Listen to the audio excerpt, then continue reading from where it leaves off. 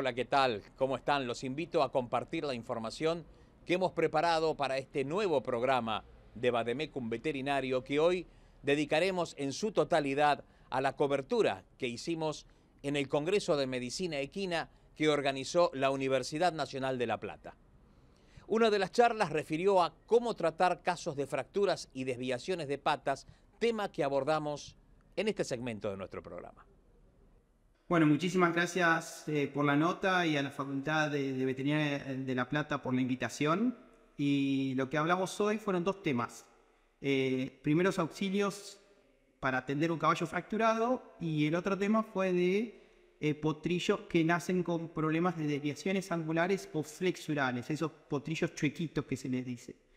En cuanto a la primera charla, el objetivo fue de, algún modo dar las pautas iniciales para tratar un caballo que se encuentra a campo o durante la competencia con una fractura. Entonces, tanto eh, la primera atención inicial, la estabilización, cómo poner las férulas, cómo poner un yeso, eh, cómo poder darle el marco para mejorar el pronóstico de sobrevida de ese caballo o incluso darle un pronóstico para volver al ejercicio, a pesar de que esté fracturado. Que la gente un poco tiene ese concepto y el mito de caballo fracturado, caballo muerto, y no es así. Eso depende muchísimo de cómo es atendido eh, en gran parte, en gran porcentaje, en el campo. En el momento de la fractura o cuando el animal, este, perdón, cuando eh, el colega llega y tiene que de alguna manera, eh, de manera adecuada, atenderlo y estabilizarlo, de manera temporaria. Una vez que el caballo está estabilizado de manera temporaria, nosotros nos podemos dar el tiempo tanto de realizar métodos complementarios de diagnóstico, ya sea radiografías, como para establecer el la gravedad de esa fractura, e incluso establecer un pronóstico. Entonces ahí sí el cirujano, o sea, esa persona se contacta o el dueño o el veterinario de cabecera se contacta con el cirujano en todo caso, o un hospital como este, donde puede ser derivado ese animal para su tratamiento definitivo. Y ahí sí, bueno, es todo un conjunto, o sea, un, un grupo de trabajo que se forma entre el propietario, el veterinario de cabecera actuante y el grupo que va a definir este, su tratamiento eh, justamente definitivo, ¿no? O sea, la estabilización final, ya sea con osteosíntesis, con placas, tornillos o yeso solo en definitiva, pero lo que hice hincapié acá es la necesidad de saber cómo se hace la, la atención primaria, que es fundamental. Eso no, es lo que nos va a cambiar a nosotros eh, muchísimo en cuanto a, la vida de ese animal. Hay caballos que al revés pasan dos o tres días fracturados, se los venda como puede, y una fractura cerrada se convierte en abierta, y ya el pronóstico cae casi a nulo. Ah, entonces cuando nos llaman a nosotros ya es tarde. O quizás el daño de los tejidos blandos, ya sea tendones, músculos, vasos sanguíneos, es tan grande que o no se puede hacer nada o el periodo de recuperación postquirúrgico es mucho más largo, mucho más caro también y el pronóstico es mucho menor. Entonces, por eso, para maximizar las chances de salvar esos animales, es esto de lo que hablamos hoy. Y después, bueno, teníamos el segundo tema, este segundo tema donde tratamos eh, el tema de los potrillos chuequitos, o sea, los potrillitos que nacen con problemas angulares este, que puede tener desviado un miembro hacia afuera o hacia adentro, o tener una hiperflexión, o sea, de estar las manitos eh, eh, comúnmente que se dicen arrolladas, con hiperextensión o con hiperflexión de esos miembros. Y bueno, todos los tratamientos que se puedan, las causas y los tratamientos que se puedan realizar. Yo me enfoqué en la parte quirúrgica, me dedico a la cirugía, pero tiene todo un conjunto también de este, tratamientos médicos o tratamientos conservadores eh, que, antes de la cirugía o llegado a cierto punto hay que decidir de realizar cirugía o no para, para poder enderezar esos potrillitos y tener un potrillo saludable y con todo su potencial eh, para futuro ejercicio. Que el dueño sepa, que el propietario sepa que esos potrillitos se pueden recuperar también. Oh, no, nació que no se puede parar y o pisa con los nuditos en el piso y, se desesperan. Y esos potrillos son solucionables en su gran mayoría. Hay ciertas aberraciones o ciertas deformaciones que quizás son mucho más complejas, solucionables también quizás con ciertas cirugías muchísimo más radicales, pero la, lo más común es tener estos potrillitos torcidos que con tanto manejo médico o quirúrgico podemos tener un potrillo funcional en el futuro, ¿no? Con la expectativa de ejercicio que uno quería. Cuando la fractura se produce a campo y no hay un veterinario cerca, ¿cómo se debe proceder? Bueno, ahí ese es un punto importante, porque inmediatamente el dueño, entiendo que eh, la persona que está con caballos todos los días puede manejar un caballo y más o menos estar eh, confiado o de algún modo canchero en poder trabajar alrededor de un, caballo con estrés, con dolor, etc. Pero lo ideal es en el momento llamar al veterinario y hasta que llegue el veterinario realizar maniobras muy básicas. Si tenemos una herida, lavarla inmediatamente. En lo posible, en lo posible que el caballo no apoye o que apoye lo menos posible. No moverlo, si está en el medio de un lote, dejarlo ahí hasta que venga el veterinario y lo estabilice de manera definitiva.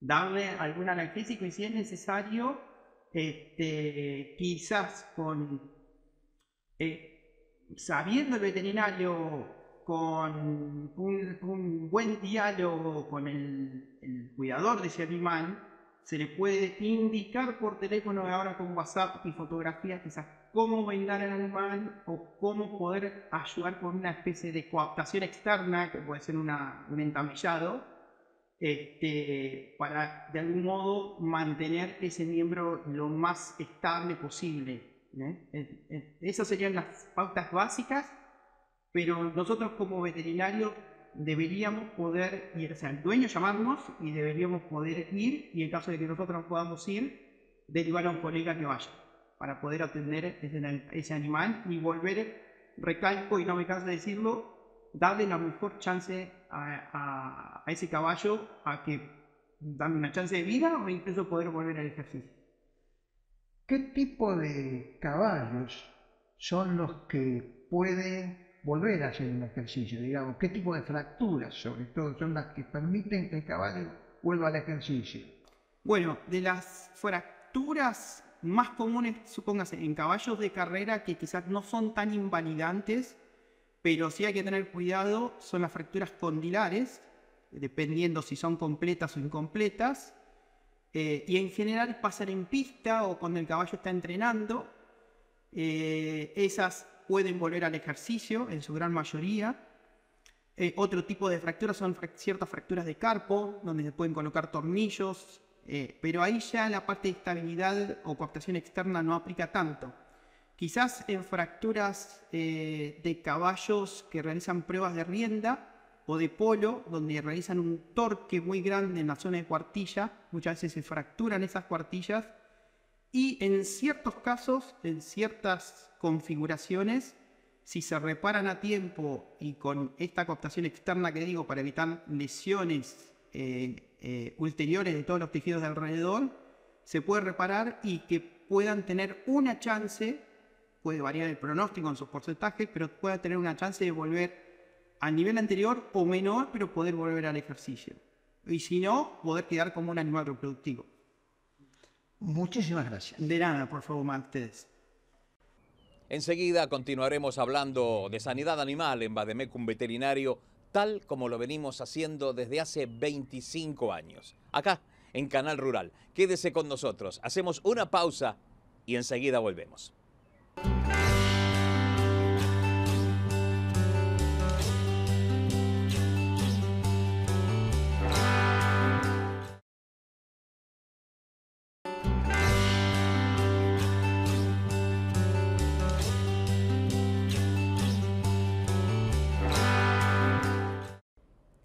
De acercamiento entre el veterinario y el herrador para tratar lesiones de vasos y cascos. Este fue el tema de una de las ponencias abordadas en el Congreso de Medicina Equina que tuvo lugar en la Facultad de Veterinaria de la Universidad Nacional de La Plata. El disertante nos resumió los conceptos salientes de la charla que tuvo a su cargo. Me convocaron para hablar sobre podología y errado, que es un área que me desarrollo un poquito más que en otras, si bien no me considero un especialista, pero eh, me he desarrollado a lo largo del tiempo por una cuestión de vocación y de interés personal, un poco más en este tema que en otros de medicina veterinaria. Eh, entonces me convocaron para hablar y elegí el tema eh, cómo desarrollar un herraje funcional para el caballo deportivo, esa fue la primera charla que di, donde el objetivo básicamente era que transmitirle a los jóvenes y a los estudiantes por un lado la importancia que tiene el buen herraje y el, manejo del pie antes de tomar decisiones del desvasado y el errado como una herramienta de optimizar el rendimiento atlético de los caballos. ¿sí? Eh, por suerte me dedico a este tema desde hace muchos años y voy viendo el cambio que ha habido a lo largo de estos últimos 25 años, donde cada vez hay más gente abocada al tema del errado y a la capacitación y formación técnica en, esta, en este área.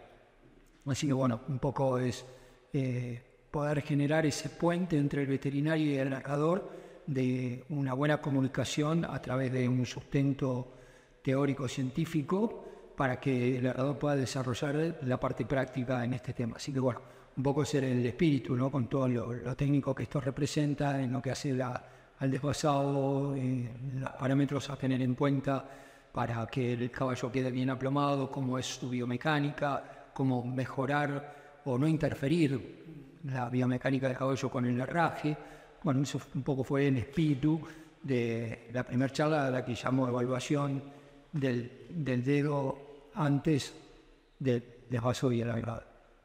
Y mm, después de una charla específica sobre el manejo de una patología bastante frecuente, que es la enfermedad navicular o síndrome podotropiar, que si bien es una enfermedad perfectamente identificada por, por los veterinarios, porque es una enfermedad muy frecuente, eh, hay un poco un vacío en la formación académica de las facultades eh, de cómo es el manejo ortopédico de esta enfermedad. Como es una enfermedad de base biomecánica, eh, requiere tener un buen manejo ortopédico para tener éxito a largo plazo sobre eh, la funcionalidad deportiva de los caballos. Entonces, el espíritu era poder volcar un poco el manejo que hacemos a través del arraje eh, para este tipo de enfermedades, haciendo hincapié sobre todo en el tipo de deporte, el tipo de terreno donde se desempeña el caballo, un poco la edad de, los, de estos caballos y sobre todo concientizar que es un manejo a largo plazo, que no es una, eh, por desgracia, ¿no? es una enfermedad que la medicamos y se cura, es una enfermedad con la que eh, el caballo convive y por lo tanto propietarios, entrenadores y jinetes también tienen que convivir con ella. Sí, ese es un poco el espíritu de esa segunda charla. ¿Cuál es el manejo de que usted habla? Eh, bueno, básicamente el manejo para esta enfermedad consta de favorecer lo que llamamos el inicio del paso del caballo para que las tensiones y tracciones que hacen las estructuras relacionadas a lo que llamamos la atropia del pie eh, se vean atenuadas. Básicamente, eh, y hablando un poco más sencillo, es eh, disminuir la tensión que hace el tendón flexor digital profundo para generar el inicio del paso del caballo.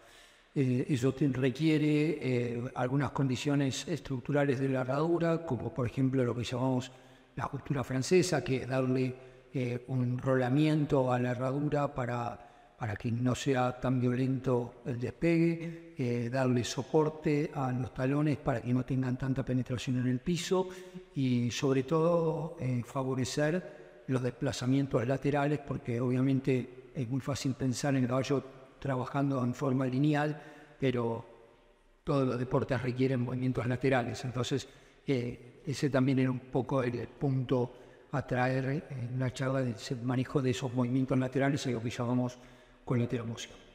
Usted habló de un cambio importante en estos 25 años sobre el herraje. ¿Nos puede comentar algo de eso?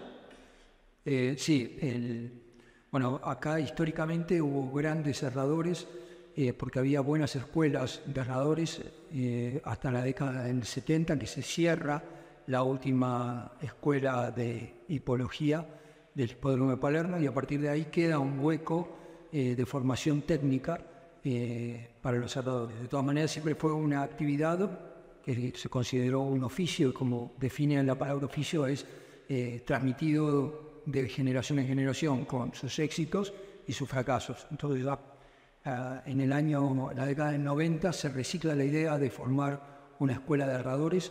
Eh, toma el camino ese la Facultad de Veterinaria de la Universidad de Buenos Aires eh, y en el año 96 eh, sale la resolución de formar la, escuela, la primera escuela de herradores en la Facultad de Veterinaria, eh, de la cual fui parte durante muchos años, y en el año 98 se hace el primer curso y sigue vigente hasta hoy. La escuela, la, escuela de herradores de la Facultad de Veterinaria sigue existiendo, así que eh, es importante que la gente conozca que existe eso. También hay otros centros de, de formación en distintos lugares pero básicamente eh, lo más importante es que la gente joven ha, visto la necesidad, eh, tal vez un poco para, para buscar una salida laboral y por otro lado para muchos que ya lo estaban haciendo, encontrar un soporte técnico-científico en su actividad, eh, que se están volcando a la formación realmente académica de esto, ¿no? no solamente quedarse con un oficio, sino que buscar el el sustento eh, para, como decía, teórico, científico para apoyar su práctica. Como digo siempre, eh, un profesional es el que sabe lo que hace eh, y un práctico es el que hace lo que sabe. Usted habló de diferentes herrajes. ¿Esos diferentes herrajes se tienen que medir de acuerdo al aplomo de cada caballo? Eh, por supuesto que cada caballo necesita un herraje particular en función de su anatomía, de su conformación y de sus aplausos. Y por supuesto, si tiene alguna patología, bueno, hay herrajes específicamente para eso. Nosotros cuando categorizamos los herrajes hablamos el herraje, entre comillas, normal, que tendría que ser el herraje funcional, que, que se le coloca a cualquier caballo básicamente sano, sin problemas. Y después tenemos los herrajes ortopédicos, y los herrajes terapéuticos. Los herrajes ortopédicos son aquellos que tienen como objetivo eh, mejorar aquellas condiciones de conformación, es decir, mejorar la biomecánica en función de una conformación que no podemos manejar, porque es, así es el caballo, esa es su conformación, y por otro lado tenemos los herrajes básicamente terapéuticos, como el nombre le indica, son para el tratamiento de alguna enfermedad en particular. Entonces esa es la división básica de los tipos de herrajes. De esas patologías que usted habló al principio, ¿se utilizan algunos tipos de estos herrajes? Sí, eh, en, el caso del tema de hoy, que fue eh, enfermedad navicular, los herrajes clásicos que se usan, se los nombro, son la herradura barra huevo, la herradura eh, de, de callos de cebolla, la herradura con justura francesa, son todos nombres propios que ha adquirido las cerraduras en función de, la patología, ¿no? Si ya sabemos, uno habla con el herrador y dice, bueno, este caballo quiero que le pongas una herradura napoleónica, por ejemplo. Eh, este caballo necesita una herradura de balance natural. Cada herrador conoce cuál es la herradura que el veterinario indica. Y como para dar una nota de color, le dije la herradura napoleónica y en esta cerradura napoleónica el nombre lo adquiere porque cuando Napoleón se está retirando de, Rusia, los mariscales de campo, un mariscal de campo de Napoleón decidió como estrategia militar errar los caballos al revés, con las cerraduras puestas al revés, para que obviamente el enemigo creyera que iba para un lado y en realidad iba para el otro. Y se dieron cuenta que muchos caballos que tenían problemas habían mejorado eh, y de ahí le quedó a esta herradura que se coloca de una manera invertida, herradura napoleónica. ¿Cuáles fueron las conclusiones que logró de esta charla? Para mí lo más importante es formar equipo de trabajo. Eh, no hay que ponerse en veredas opuestas. Durante muchos años hubo confrontación entre veterinario y herrador y herrador con veterinario. Es decir, era muy claro situaciones como eh, el caballo está claudicante, bueno, la culpa es del, del herrador y el narrador decir, bueno, que lo vea el veterinario y ahí estábamos en un ida y vuelta este, que no terminaban Hoy por hoy, por suerte, eh, tenemos un gran acercamiento, formamos equipos de trabajo y como dije en la charla, creo que lo más importante es contar con equipos propios, es decir, eh, formar gente para eso. Muchísimas gracias. Gracias a ustedes. Es momento de presentar a las empresas del sector veterinario que siempre nos respaldan a la hora de difundir conocimientos sobre sanidad animal. Ya volvemos con más información. Quédese con nosotros en Canal Rural.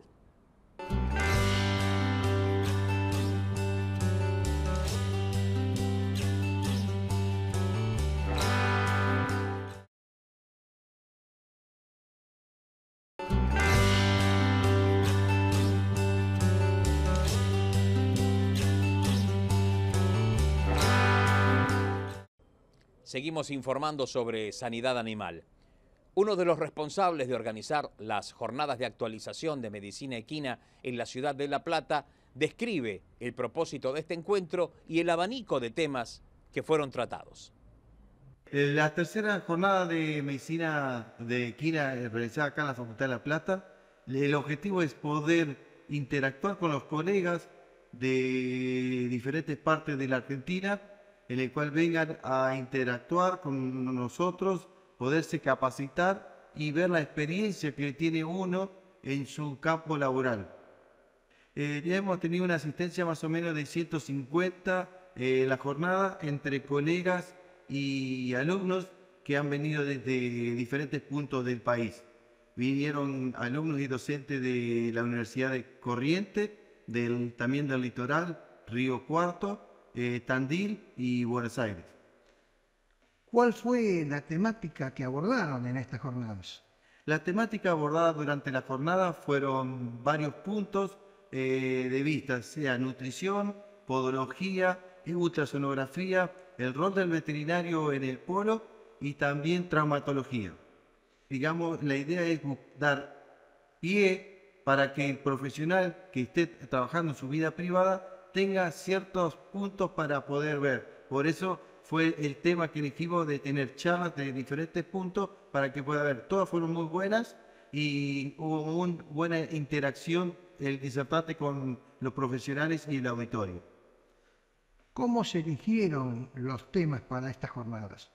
Los temas se eligieron ya que la idea era no repetir temas de otras otras jornadas que habíamos realizado, y consultando con la gente que ha venido en otras a ver qué punto le interesaba y qué sería bueno aprender. Entonces de ahí fuimos evaluando qué podíamos traer como disertante. ¿Qué sale en limpio de estas jornadas?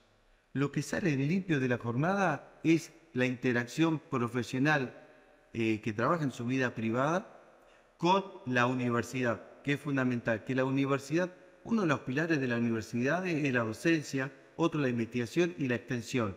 Nosotros en este sentido también tenemos que aportar a la sociedad, en este caso estudiantes, eh, entrenadores y profesionales, capacitándolo e interactuando y saber qué necesita el medio interno y externo en ese sentido y poder eh, trabajar eh, de manera federal. Por eso te comentaba recién que hay veterinarios de diferentes regiones del país de Córdoba, del sur, de Neuquén, de Entre Ríos, y bueno, y la problemática en diferentes puntos del país es diferente en ese sentido y no es siempre la misma, y según también la actividad que realiza.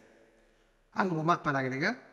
No, muy agradecido a todos los asistentes, a la gente que participó como disertante, los laboratorios también que nos dieron una mano y también eh, poder seguir capacitando y mejorando la, profesión veterinaria que, que es muy buena. Muchísimas gracias. No, gracias a ustedes.